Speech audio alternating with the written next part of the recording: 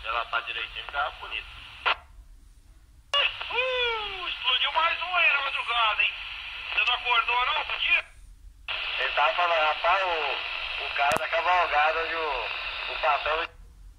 Botando quem ele levou embora. Não posso fazer nada.